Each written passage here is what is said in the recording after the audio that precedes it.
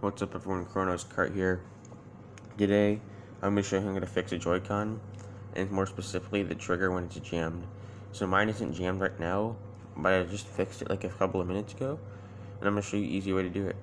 So what I did, what I did, was I put both two fingers, like right on the screw, or where the screws are up here, or I just use two of my hands, but right now I'm just using one to record. Alright, so what you want to do is just put pressure right here, basically squeeze them. I'll try to do an example.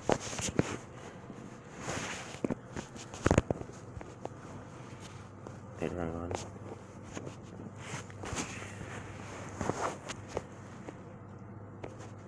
Okay.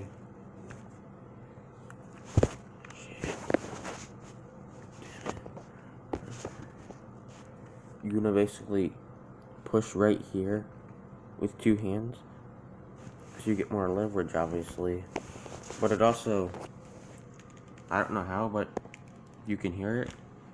It was originally just jammed down like like it goes hard. Like basically if this if you had this problem you would know what I mean.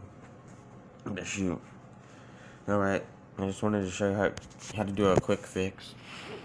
Um Joy-Con if your button isn't working. Okay bye